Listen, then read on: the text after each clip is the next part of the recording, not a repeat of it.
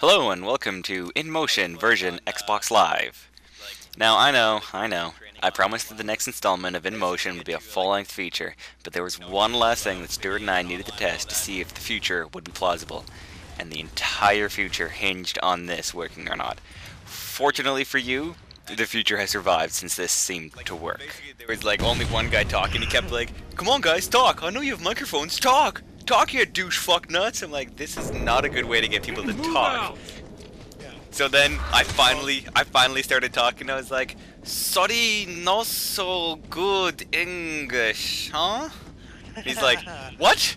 No, speak English." He said, "No, no, it's not so good." This short episode is all about the final step in this process, which is bringing in more than one person across a great distance. In this case, it was Stuart and I banding together over Xbox Live Party Chat to do some Horde mode in Gears of War 2 as the test. Now, the entire session actually took over an hour for just 10 levels at normal difficulty, and I attribute this to the fact that I've been jumping around from FPS to FPS with wild abandon. I mean, there's Dead Space, Halo 3, Left 4 Dead, and Gears of War 2. It's just crazy. I, I can't keep up with the control schemes. But all in all, I think the test was successful.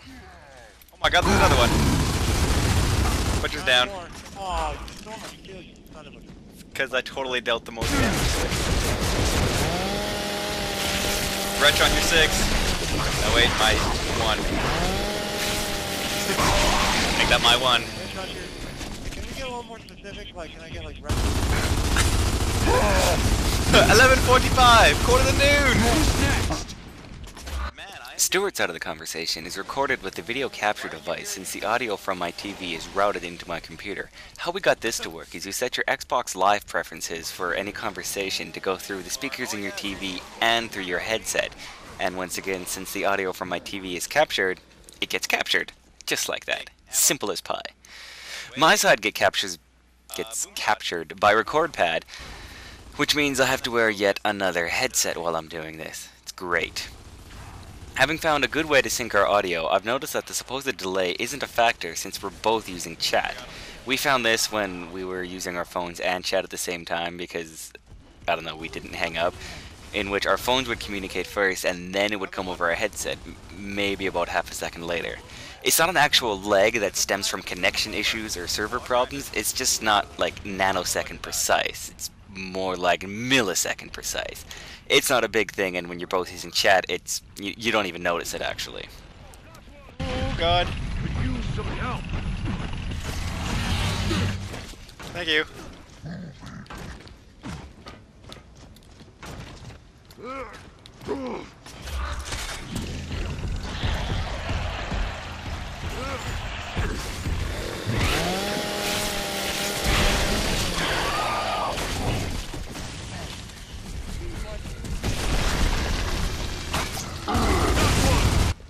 I'm getting used to the reversed audio since it doesn't wildly screw me up anymore, but at the same time, I'd like to reorganize things so I'm not entangled in wires anymore.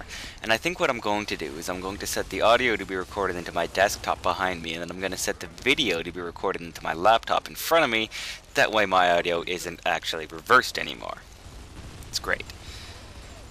So I know I promised, again, that I would have a full episode, and I'm really hoping that next time I will have a full feature-length episode for you, because I'd really like to do one. So cross your fingers, hope for the best, and hope that no other tests come up.